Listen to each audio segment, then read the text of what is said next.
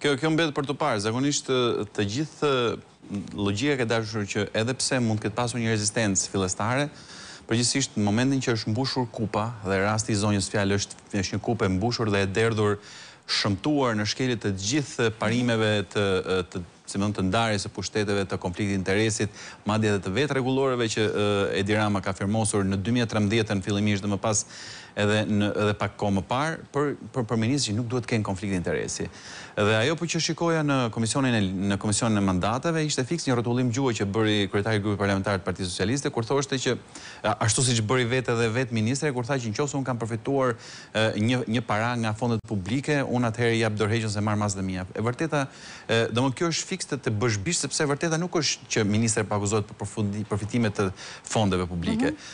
Zonja ministre është në konflikt të hapur interesi, të paktën duke referuar pikës katër të rregullores së miratuar nga vetë kjo qeveri e cila parashikon që në asnjë rast ministret nuk duhet të jenë pjesë e një kabineti e cila merr vendime për familjarë apo për të afërm të tyre dhe ne në tre në tre në tre shkurt të këtij viti qeveria në të cilën bën pjesë Olta Xhaçka ka marrë vendimin për ta trajtuar si si si si investor strategjik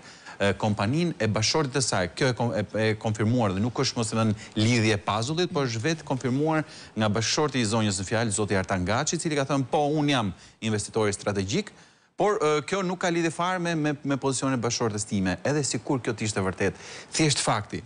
që zonja në fjalë është pjesë e një kabineti, e cila ka marrë pje, ka marrë vendim për bashkëshortin e saj, që në këtë moment ajo zonja duhet të kishte dhënë dorëheqjen dhe ose më saktë para se të ndodhte kjo gjë duhet të kishte dhënë dorëheqjen, mund të ishte anëtar, mund të ishte deputete,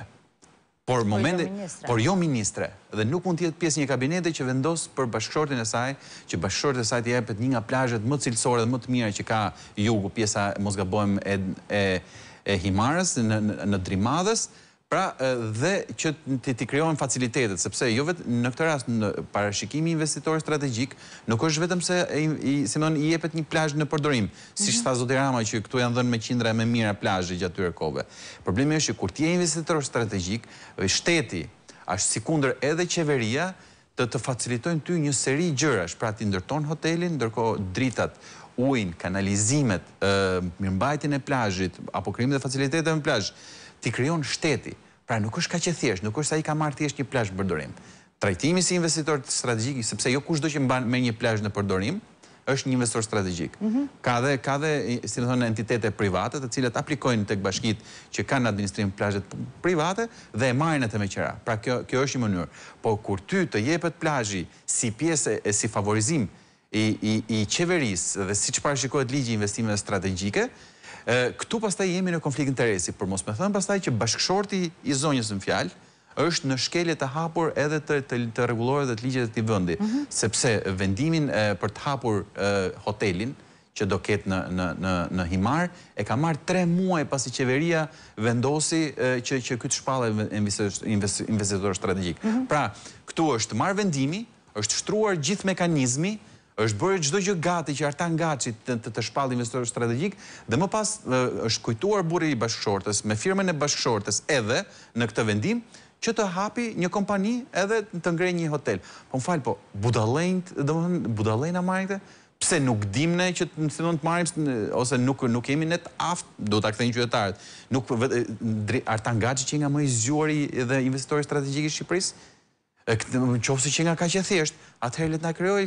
t'ia krijojë gjithkujt që ka dëshirë, si me thënë në Shqipëri të bëjë biznes, qeveria këto lloj mundësish dhe kush është ai që nuk bën biznes në këto kushte, kur ti i ke të gjitha gati, kur ti i ke të gjitha të siguruara nga shteti dhe ti praktikisht edhe investimin ta bën dikush tjetër dhe ti thjesht siguron të ardhurat. Prandaj këtu ferra ka marrë, domethënë ferra ka marrë uratën, thonë, është ajo shprehja shqiptare. Këtu turp nuk ka më. Këtu shkelja e ligjit është normë modus vivendi i kësaj qeverie. Këtu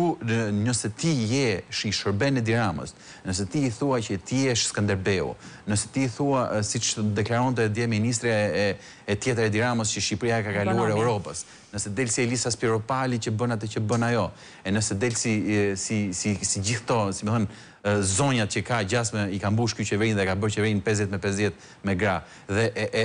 e fetishizon kryeministrin, sigurisht që pastaj pas përfitimet i marrin familjarët e tu dhe këta nuk nuk kanë nuk po e fshehin më, nuk e bëjnë as me kushërinj të tretë as të katërt, po po i bëjnë direkt me bashkëshortët dhe janë disa bashkëshortë që na kanë dalë super të vlerësuar dhe super dhe super dhe super të të premiuar nga kjo qeveri. Ndërkohë që qytetarët shqiptarë, mendja e ndritur e këtij vendi po ikën dhe po çan ferrën,